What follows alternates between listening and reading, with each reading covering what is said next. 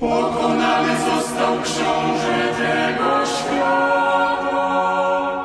Chwała Chrystusowi, który nas wybawił. Pokonany został książę